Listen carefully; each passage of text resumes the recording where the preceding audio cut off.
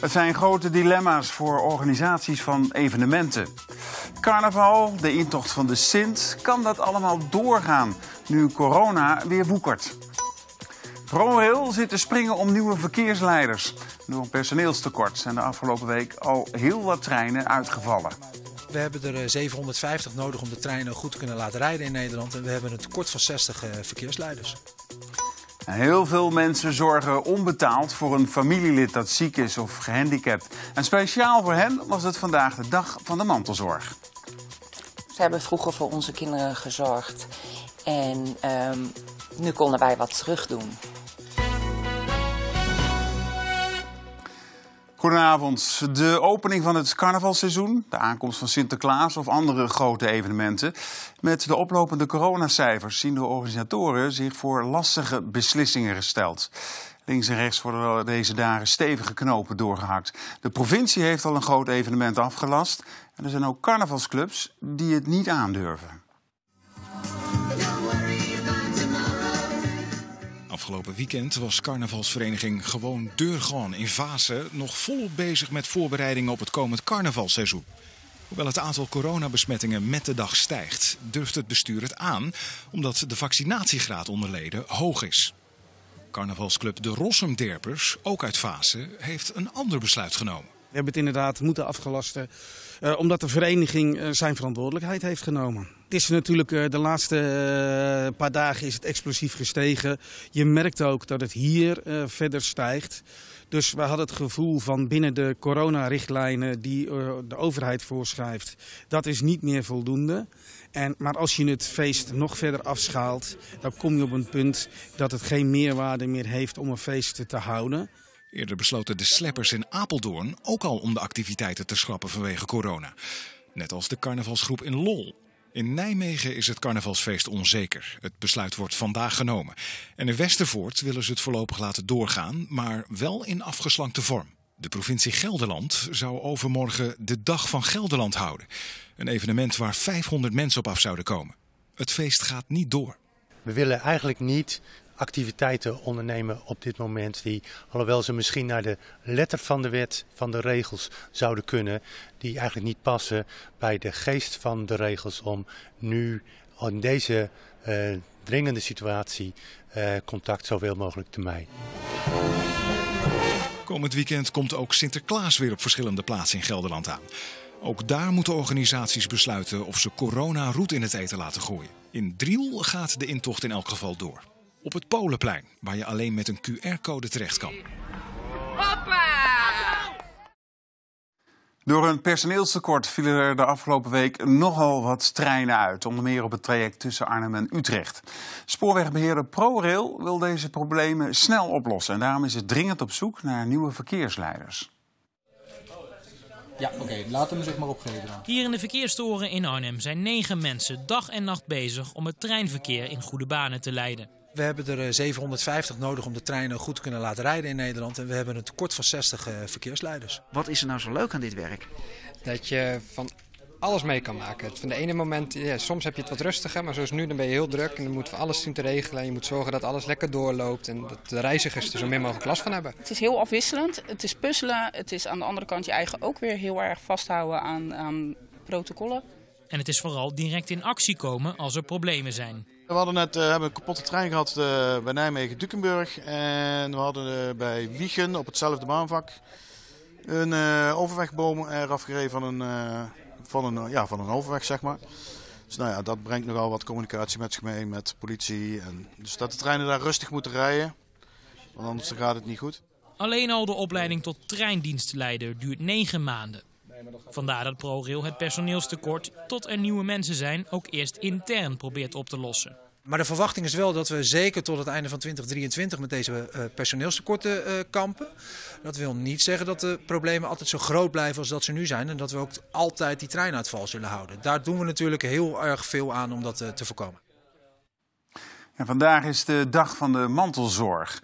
Eén op de drie Nederlanders is mantelzorger. Dat zijn mensen die onbetaald zorgen voor chronisch zieken, gehandicapten of familieleden die hulp nodig hebben.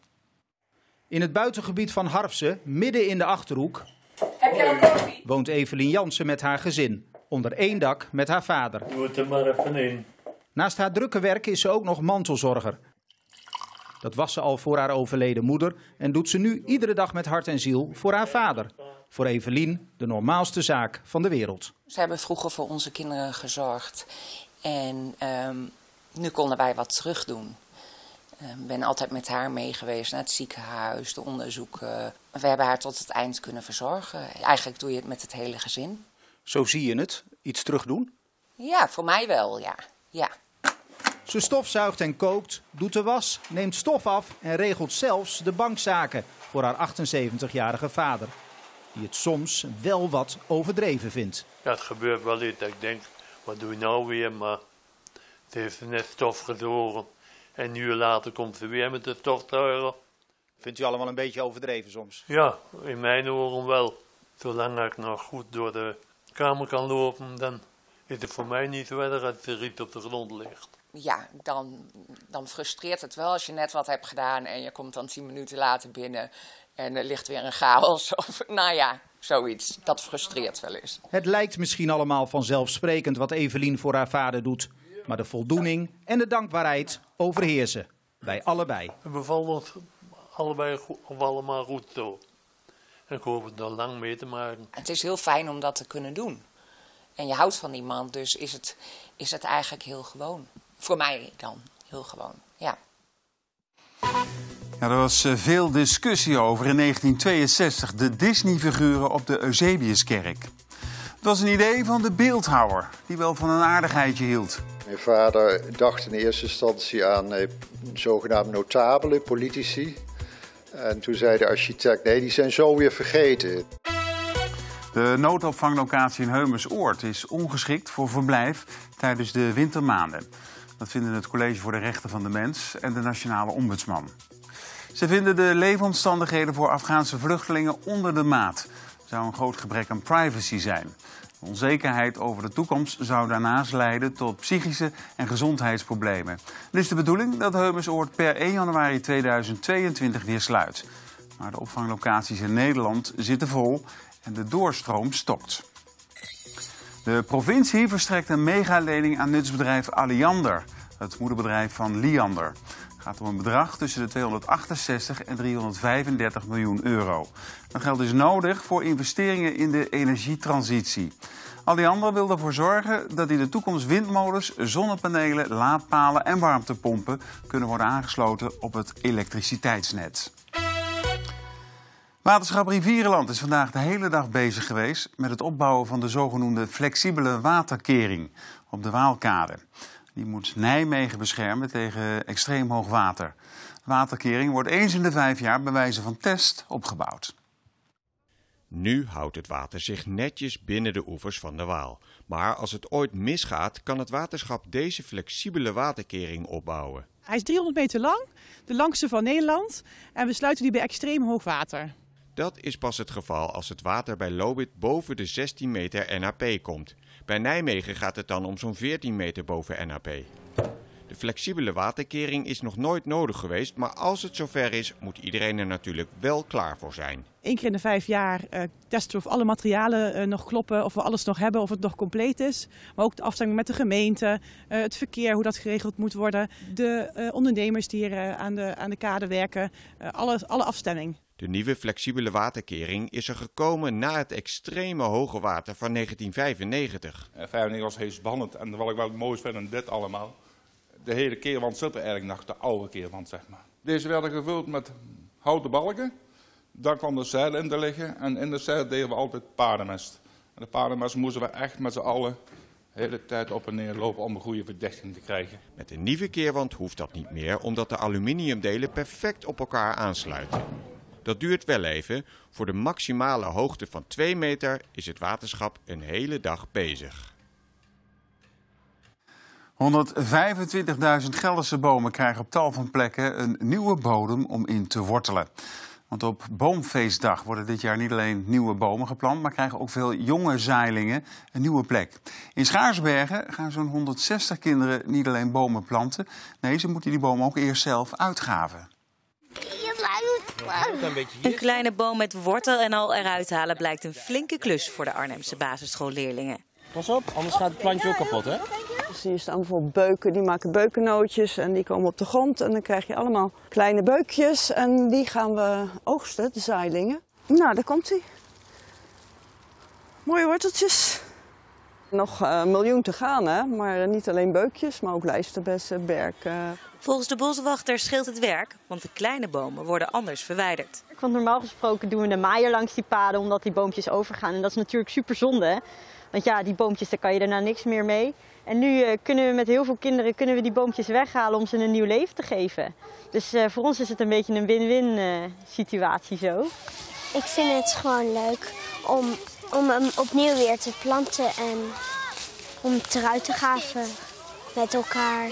Bomen kunnen de CO2 uit de lucht halen. Dat is ontzettend belangrijk, want we hebben veel te veel CO2 in de lucht. En dat is slecht voor het klimaat. En bomen kunnen dat heel goed.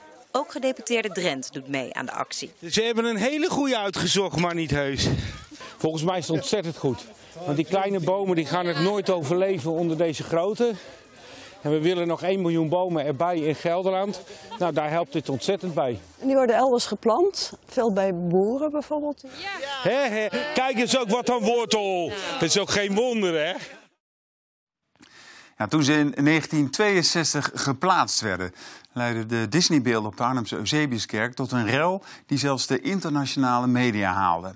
En nu, bijna 60 jaar later, brengt de zoon van de ontwerper een boek uit om het ware verhaal te vertellen. Het maken van Disneybeelden was in eerste instantie helemaal niet het plan van de beeldhouwer. Mijn vader dacht in eerste instantie aan eh, zogenaamde notabelen, politici. En toen zei de architect, nee, die zijn zo weer vergeten. Dat vind ik ook een grappig aspect, want de figuren die er uiteindelijk opgekomen zijn, die zijn nog steeds populair, de Disney- en tonerfiguren. Dus ze hebben dat in, in overleg gedaan, alleen eh, buiten de gemeente om en buiten het kerkbestuur om. En dat bracht de nodige commotie. Twee jaar later ongeveer bleek dus eh, dat er heel veel kritiek op kwam. Zo van, ja, dat zijn geen religieuze figuren. Hè, dat kan eigenlijk niet. En dat is natuurlijk ook een tijdsbeeld. De Nederlandse Christelijke Vrouwenbond die stuurde een brief naar de gemeente eh, om aan te geven van, nou ja, dat dit, die beelden die horen in films of kinderboeken thuis, maar niet op een kerktoren. Ook dominee Fouke trok fel van leer tegen het ontwerp van Vreeling. En mijn vader hoorde daar ook van. En toen heeft hij vervolgens, eh, heeft hij de, toen hij met die dwergen bezig was, heeft hij voor de grap ook het hoofd van die dominee, heeft ook een tekening gemaakt tijdens een kerkdienst, heeft hij dus van de, de kop van die dominee als een van de dwergen uitgebeeld. En de vader van Michel, die lag niet zo wakker van alle reuring die zijn beelden brachten. Zat daar helemaal niet mee, nee. Daarom heeft hij het ook gewaagd om die grap uit te halen met de dominee. Zijn we toe aan het weer? Het blijft vanavond en vannacht droog en vooral in de Achterhoek en het Rijk van Nijmegen koelt het bij weinig bewolking flink af. In het noorden is het bewolkt en minder koud. En morgen dan raakt het in de middag uiteindelijk overal bewolkt en vooral in de noordelijke delen kan een beetje regen of motregen vallen. Met 11 of 12 graden en weinig wind is het echter vrij zacht. Ja, vrijdag verloopt droog en is overal de zon geregeld te zien. Toch voelt het door een toenemende wind en met hooguit 10 graden frisser aan. Zaterdag dan is het bewolkt en soms nat. En vanaf zondag dan blijft het weer een aantal dagen droog en wordt het ook kouder. Tot zover het Gelders nieuws. In onze app leest u meer over het stadiondossier van NEC. De club vreest zonder grote verbouwing nooit meer in een volle goffert te kunnen spelen. Ik wens u nog een fijne avond.